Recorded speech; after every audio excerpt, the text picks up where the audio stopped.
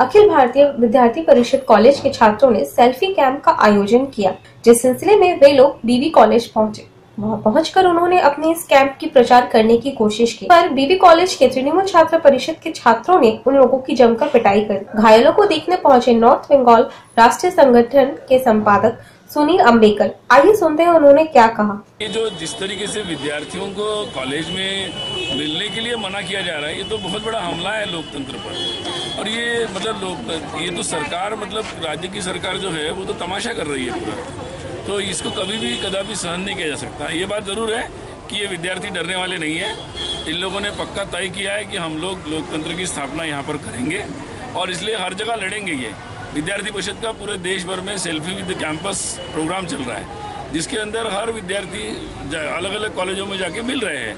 तो ये बहुत ही सामान्य प्रोग्राम था, लेकिन ऐसे एक सामान्य मिलने जुलने को भी ये लोग मना कर रहे हैं और उसमें भी अपना पुलिस, तंत्र, मारपीट, गुंडागर्दी मतलब ये सब जो चल रहा है, इसको ये बहुत ही निंदाजनक है। मैं उसकी कड़ी शब्दों में निंदा करता हूँ और मैं ये मानता हूँ कि इसको हम लोग उठाएँगे, ये बताएँगे पूरे देश भर में जाके कि बंगाल में क्या हो रहा है। बंगाल के लोग भी इसके खिलाफ संघर्ष करेंगे, हम लोगों का संघर्ष जारी रहेगा।